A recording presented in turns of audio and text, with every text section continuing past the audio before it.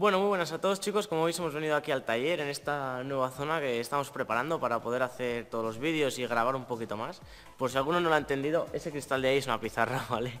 Entonces, bueno, en este vídeo os traigo eh, más o menos la excusa de la semana, ¿no? Que lo voy a empezar a llamar así, ah, por la que no he subido vídeo y por supuesto que he dejado de participar en el concurso de Oktoberfest, que como vosotros sabéis era de hacer un avión con 10 motores y tal, bueno, pues lo hemos dejado un poquito apartado. Una probablemente la más importante que hemos tenido en, todo el canal, o, o si no es así, un paso muy importante que vamos a dar. Bien, sé que muchos de vosotros estáis en este canal porque os interesa el ultraligero, ¿no? Este cacharro que tengo por aquí y que muchos de vosotros habéis suscrito a este canal por este ultraligero.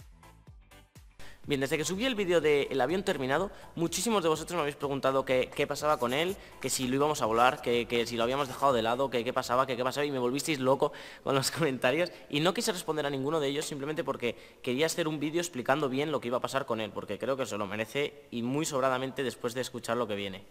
Bien, ya sabéis que a raíz de salir en la tele y que nos entrevistasen en los periódicos, se enteró mucha gente de esto del ultraligero, de, nuestro avión. Entonces, eh, se puso en contacto conmigo gente que era más a nivel profesional, nivel aeronáutico, y el, y el, problema me dijeron que era que no podíamos estrenar el avión de manera un poco ilegal, por así decirlo, sino que teníamos que sacar una licencia de piloto, hacer de licencia experimental, bueno, cosas así. Tonterías. Entonces, llegado a este punto, y teniendo eh, muy en cuenta que yo tenía que entregar algo a mano a mano, ¿no? Porque yo quiero decir lo primero que mano a mano a mí me ha dado una oportunidad gigante y le voy a estar siempre eternamente agradecido porque la verdad mm, ha sido una pasada todo lo de ello y de esto va a tratar el vídeo, ¿vale? Ya sé que estoy anticipando mucho, pero que ahora os voy a decir lo que es. Entonces, bueno, llegado a esta situación yo tenía tres opciones. La primera opción sería hacer el avión radio control, ¿vale? Que sería una opción bastante buena porque no habría un piloto físico que estuviese dentro de él con motores eléctricos. El problema de esto es que unos motores eléctricos, ya sabéis cómo son de grandes, como los que han utilizado otros youtubers para hacer aviones de esta escala, son extremadamente caras y las baterías, la electrónica en general. La segunda opción, y un poquito más lógica, sería de esperar unos años, sacarme la licencia de vuelo y estrenarlo de manera segura en, un aeródromo. Teníamos el inconveniente de que mano a mano iba a venir a grabar. Entonces, la última opción y la que hemos decidido ha sido de hacer este avión eh, radio control, pero sin motores, obviamente, ¿no? Vamos a utilizar los controles de cola y los pedales. Entonces, así tendríamos un avión de 7 canales. Con todo esto, vamos a montar dos servos de 380 kilos para mover las profundidades, que serían este, el elevador, esta de ahí la cola y otro, esos serían los dos servos grandes. Luego, otros dos servos de, 50 kilos van a ir para los, para los frenos. Van a ir para los frenos. Otros dos servos, otro, otro servo va a ir para la suelta del cable solamente. Entonces, eh, todo esto lo voy a gestionar yo desde el mando.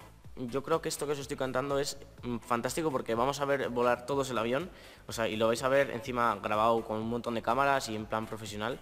Además lo vamos a hacer de manera segura y de la mejor manera posible porque se va a hacer en un aeródromo, en el aeródromo aquí provincial, que la pista tiene un kilómetro 400, o sea que es que creo que no se va a salir de ahí y como se salga, bueno.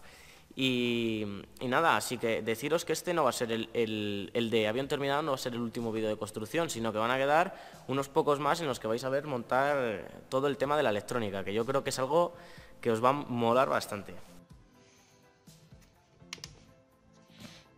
Aquí ya he puesto la memoria del ultraligero. vale, lo primero explicaros que el avión va a tener cinco servos. este de aquí va a ser el de suelta del cable, el de los frenos, el de cola y el de elevador. Bien.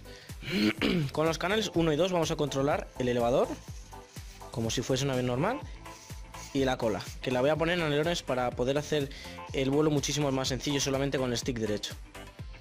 Luego los frenos, le he asignado esta palanca de aquí, para poder limitarlos, ¿vale? Así estarían con su máximo recorrido, que sería este, que como, como veis, cuando yo giro, solo suben uno y el otro. Y si yo le quito la palanca, los servos tienen menos, bastante menos recorrido. Esto está pensado para que este, este, el canal, el canal 3, que sería el THR, que sería el elevador, al moverlo hacia arriba, los servos se van a mover hacia arriba. Esto quiere decir que aquí va a tener un alambrecito que va a estar conectado a la maneta del freno. Entonces yo cuando frene una rueda se va a frenar o la otra y también puedo frenar las dos. Por último, la suelta del cable va a ir gestionada con este switch de aquí y lo único que va a hacer es una asignación al canal 6 que lo que va a hacer es mover el servo, ¿vale? Ahora lo tengo para que tenga un movimiento de 60 grados, pero lo voy a limitar seguramente para poder ponerle la palanca un poquito más en el centro. Entonces esta sería la instalación bastante sencilla. Como veis, aquí los servos los he conectado todos a por 5 voltios al receptor en los canales 1, 2, 6, 7 y 8. Y luego en el, canal número 9 tengo el, el BEC de la salida de 5 voltios. La única diferencia entre esto y el avión va a ser que el avión va a tener un suministrador de potencia que se llama un BEC. Este BEC lo que tiene son dos baterías de grafeno de 2S que van a transformar ese voltaje en un voltaje con un amperaje mucho mayor el que tiene actualmente este sistema, porque Gracias a eso vamos a poder mover servos de alto torque. Bien, como ya habéis visto, el esquema de conexión no es muy complicado, pero se va a, complicar bastante cuando lo pongamos con toda la electrónica que tiene este avión, porque la verdad esta electrónica es mucho más grande a la que estamos acostumbrados a ver, porque la electrónica que va a llevar son unos servomotores de 380 kilos, que los tengo por aquí. Vale, este sería el esquema de los servos estos. Como veis, son unos servos que pesan más de medio kilo y mueven 380 kilos por centímetro. Esto nos va a dar una capacidad de movimiento bastante buena en, sobre todo los elevadores y la cola y para los servos de los frenos voy a utilizar unos Turnigi del, de Hobby King. También hay muchos otros materiales que no os quiero decir para no aburriros, pero de todas maneras si alguno de vosotros os interesa y quiere comprobarlos, os lo voy a dejar en la descripción del vídeo antes de hacer este vídeo yo quería asegurarme de que todo estuviese más o menos hilado, ¿vale? No quería, y por eso he tardado tanto en hacerlo, no quería deciros, eh, pues mira, vamos a hacer esto, esto, esto, y luego al final no fuese, ¿vale? Entonces, bueno, ya he ido a hablar con el, dueño aquí del aeródromo de Soria, por cierto, Robert, un saludo, y nos ha cedido la pista un día para poder estrenarlo ahí el avión, ¿vale? Ya todo esto se acordará y tal el día que sea. También hablé con Beatriz de mano a mano, con la que nos va a dar todos los todos los componentes de, este avión. Cuanto hablando de estos servos un poquito, eh, por si alguno le interesa, he dejado todos estos planos en la descripción, que estos son los, los sistemas para cómo conectarlos y tal. Bueno, la verdad que no tienen mucho misterio, porque simplemente son unos servos que van a 24 voltios y que tienen un motor muy grande y todo eso, pero al final son servos que se utilizan para robótica, son servos que se pueden conectar a una señal como la del bando de radio control. Así que no sé si me he enrollado demasiado con este vídeo y se ha hecho muy largo o qué, pero quería hacer un vídeo únicamente hablando de esto porque creo que eh, lo necesitabais, porque queríais saber todo lo relacionado con el avión. Y creo que bueno, aquí lo tenéis bastante mm, resumidito, no sé, he intentado no hacerlo excesivamente largo, espero no haberos aburrido. Y bueno, yo espero como vosotros que esto vaya hacia adelante y que tengamos dentro de poco este súper cacharro funcionando.